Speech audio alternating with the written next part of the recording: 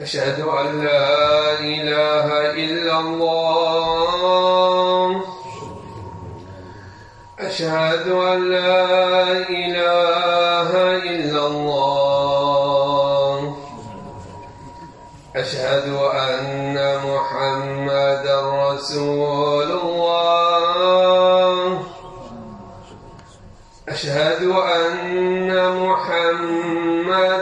رسول الله. حي على الصلاة. حي على الصلاة.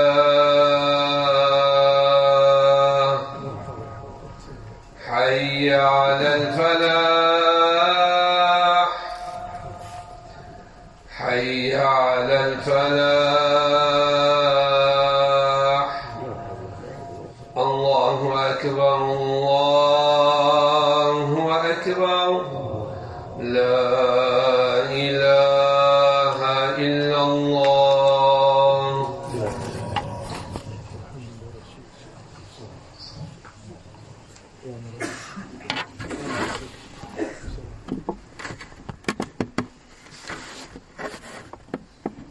الحمد لله نحمده ونستعينه ونستغفره ونعوذ بالله من شرور أنفسنا ومن سيئات أعمالنا.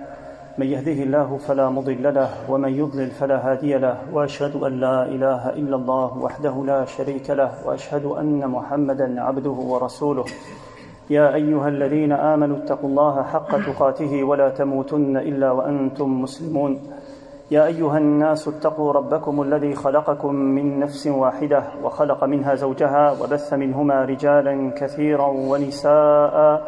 واتقوا الله الذي تساءلون به والأرحام. إن الله كان عليكم رقيبا. يا أيها الذين آمنوا اتقوا الله وقولوا قولا سديدا. يصلح لكم أعمالكم ويغفر لكم ذنوبكم. ومن يطع الله ورسوله فقد فاز فوزا عظيما. أما بعد فإن أصدق الحديث كلام الله وخير الهدي هدي محمد صلى الله عليه وآله وسلم وشر الأمور محدثاتها وكل محدثة بدعة وكل بدعة ضلالة وكل ضلالة في النار. أعاذني الله وإياكم وأباءنا وجميع المسلمين من النار.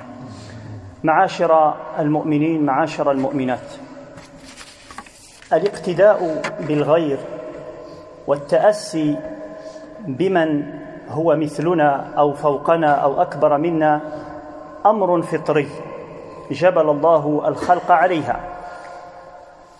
الرضيع والولد الصغير يتعلم كيف يأكل وكيف يشرب وكيف يتكلم ويتعلم ما يحتاج إليه من خلال الاقتداء والتأسي. أمر فطري. وكذلك جميع الناس حتى لو كبروا فإنهم يتأثرون بالفعل أكثر مما يتأثرون بالكلام والحديث. ومن لطف الله تبارك وتعالى أنه لم ينزل الكتب من غير إرسال الرسل ومن غير إرسال الأنبياء الذين هم قدوات. لقد كان لكم في رسول الله أسوة حسنة لمن كان يرجو الله واليوم الآخر وذكر الله كثيرا. النبي عليه الصلاة والسلام هو القدوة المطلقة. أطلق الله تعالى التأسي به في كل شيء.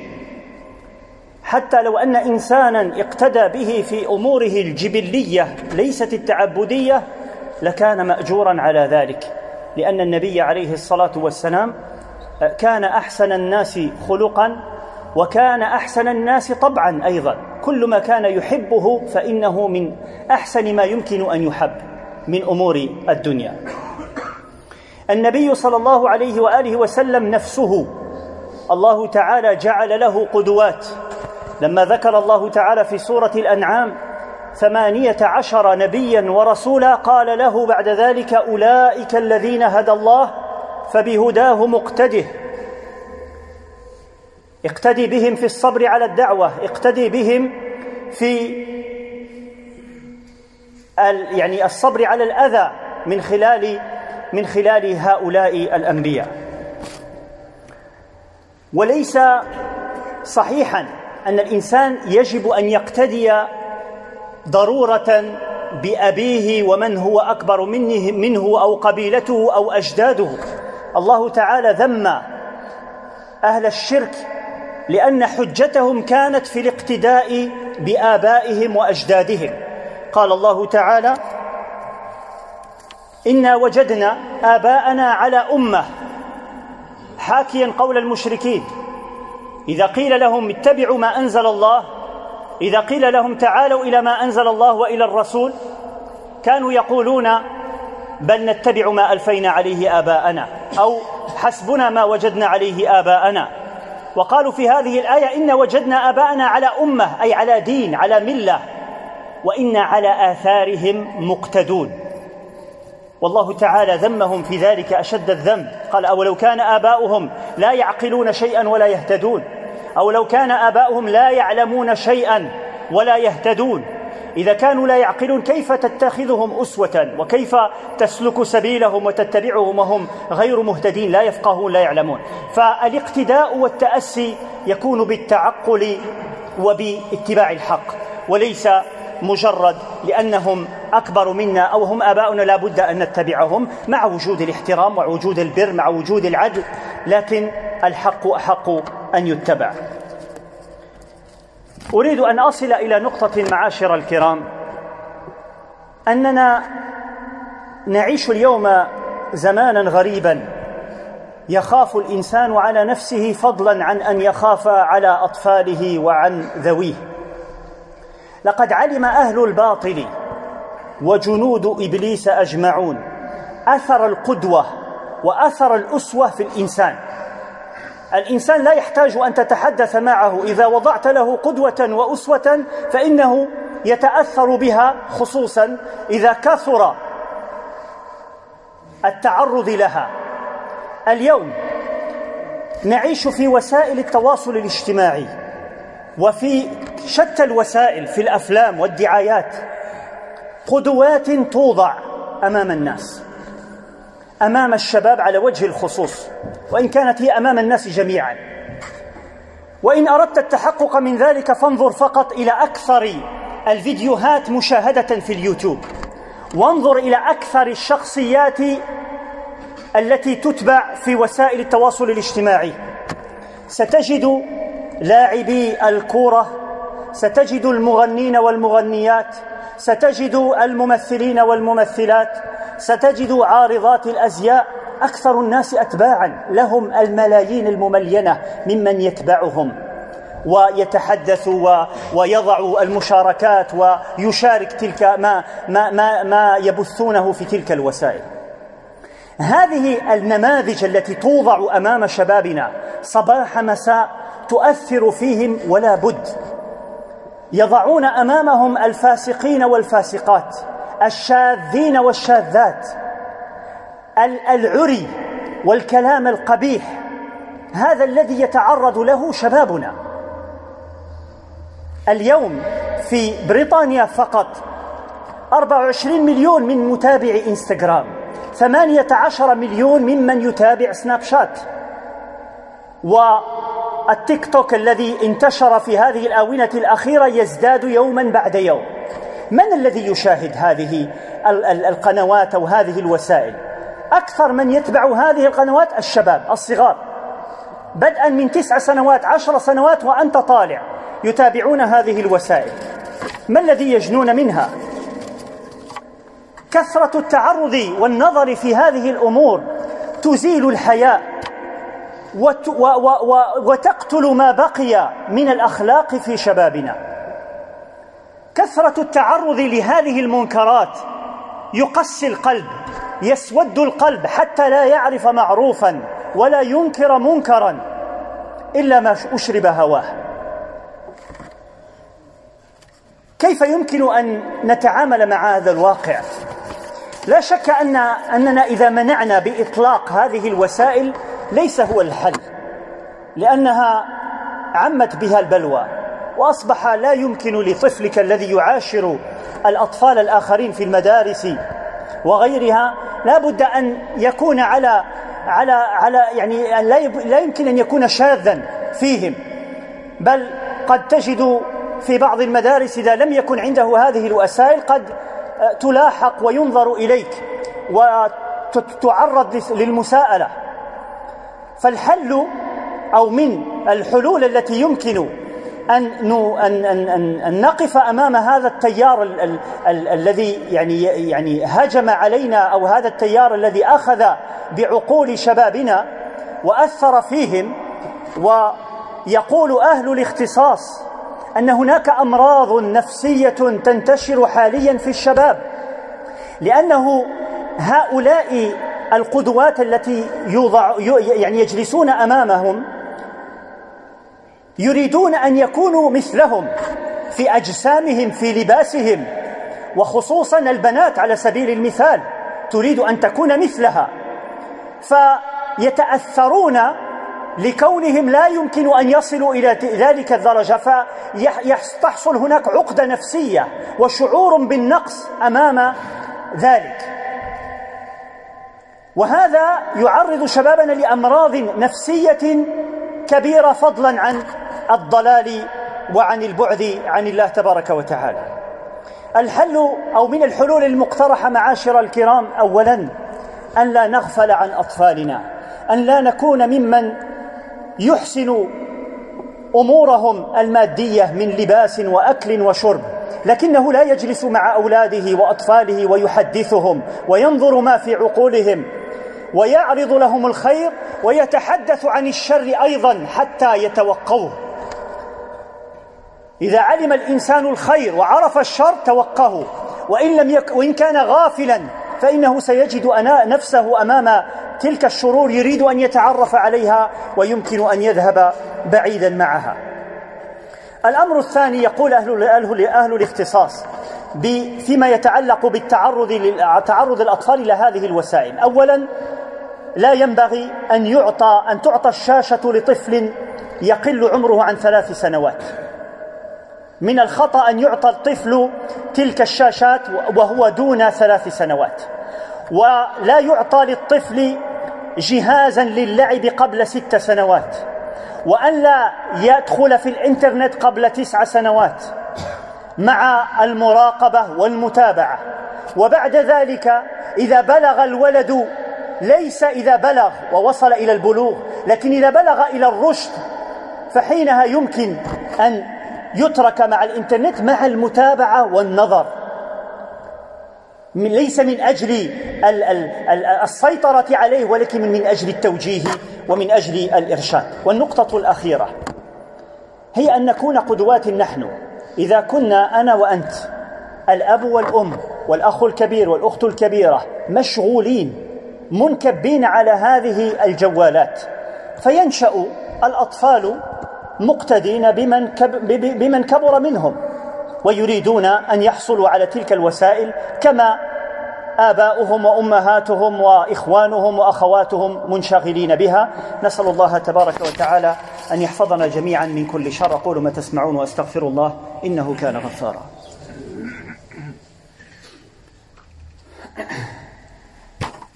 الحمد لله حمدا كثيرا طيبا مباركا فيه والصلاة والسلام على أشرف الأنبياء وإمام المرسلين نبينا محمد وعلى آله وصحبه أجمعين. يرجى من الإخوة التقدم وملء الفراغات. جزاكم الله خير. هناك إخوة ليس لهم مكان.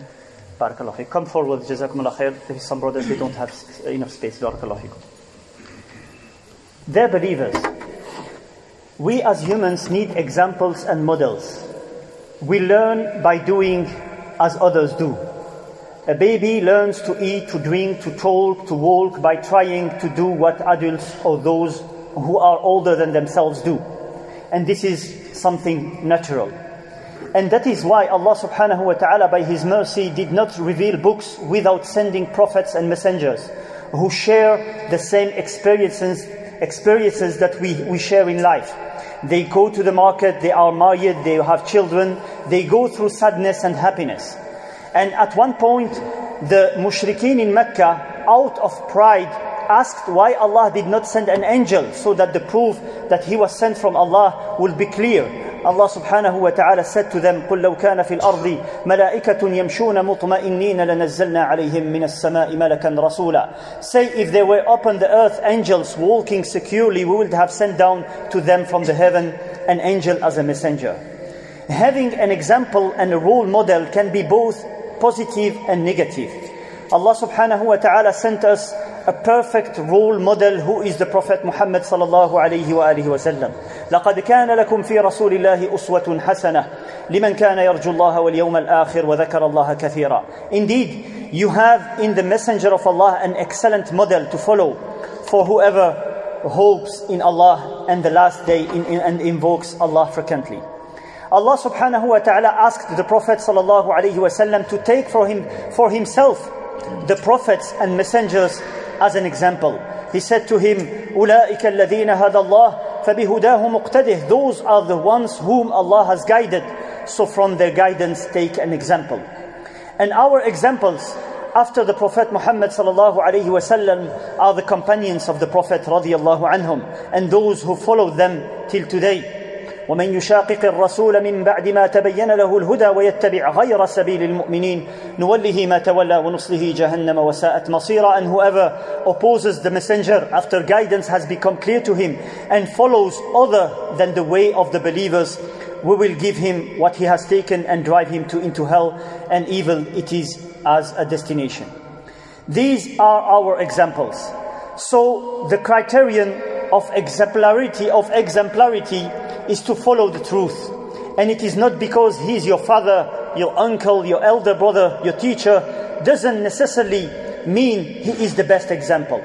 You must respect them, to be good to them, but concerning the religion of Allah, the truth must become from the book of Allah and the sunnah of the Prophet Muhammad. The argument of the mushrikeen was to follow their elders rather than following the revelation and the example of the Prophet Muhammad sallallahu alaihi wasallam. Allah subhanahu wa ta'ala told us about them. He said, وَإِذَا قِيلَ لَهُمْ تَعَالَوْا إِلَى مَا أَنزَلَ اللَّهُ وَإِلَى الرَّسُولِ قَالُوا حَسْبُنَا مَا وَجَدْنَا عَلَيْهِ آبَاءَنَا أَوْ لَوْ كَانَ آبَاؤُهُمْ لَا يَعْلَمُونَ شَيْئًا وَلَا يَهْتَدُونَ And when they are told, follow what Allah has revealed, they say, rather, we will follow that which we found our fathers doing what, what if their forefathers had not reasoned, misunderstood anything, and they had not gone in the right direction? They're believers. The advertising, film, music, and media industries knows the impact of role models and examples.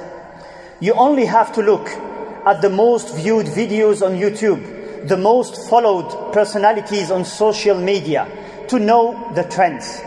Today's role models are football players, actors and actresses, singers, influencers, nudity, stupidity, violence and vulgarity. This is what is being promoted for our children and young people. Research shows alarming figures concerning the, the psychological impact of this virtual world. Young people are complexed about their bodies, their lifestyles, because they don't fit into the normality that is being proposed, the normality that is being proposed to them everywhere. Young people prefer to stay behind their screens instead of having social activities where they meet others and spend time with families. Before, and even now, we were afraid for our children who they meet at school with, who they go out with. But today, things have changed. Their friends are their smartphones, that they are with them at home, in their rooms, and in their beds. 24 million people in the UK use Instagram. 18 million use Snapchat, and TikTok is becoming more and more important in the lives of young. All these media are setting examples, models that are jeopardize values and what remains of good manners. This exposure hardens the heart to the point where one, one does not know the right from the wrong. As the Prophet ﷺ explained, everything becomes normal because you are so exposed. This constant exposure to screens makes our children lose concentration. It is difficult today to keep the attention of children, but if they are in front of their screens, they forget themselves completely. How to deal with this new reality. Firstly, banning screens completely is not the solution to something that has become the norm, but rather give children a time limit, communicate create strong relationships of trust so that they know what is good and what is bad. Psychologists, psychiatrists, and sociologists advise not to give children under three years of age tablets. No game consoles before six years. No internet before nine years. And after that, until the age of reason, we must keep an eye on and assist our children in using the internet. And finally, we must set an example. If you and me, father and mother, brothers and sisters, are always on their screens, the children will just follow. May Allah subhanahu wa ta'ala guide us, protect us and our families from all harm. هذا وصلوا وسلموا على الرحمة المهداة والنعمة المسداة نبينا محمد بن عبد الله وعلى آله وصحبه أجمعين. اللهم صل وسلم وبارك على عبدك ورسولك محمد. اللهم اهدنا فيمن هديت وعافنا فيمن عافيت وتولنا فيمن توليت. اللهم احفظنا من بين أيدينا ومن خلفنا ومن فوقنا ونعوذ برحمتك أن نغتال من تحتنا. اللهم احفظنا من الفتن ما ظهر منها وما بطن. ربنا هب لنا من أزواجنا وذرياتنا قرة أعين واجعلنا للمتقين إماما. ربنا أتنا في الدنيا حسنة وفي الآخرة حسنة وقنا عذاب النار. والحمد لله رب العالمين. وأقم الصلاة.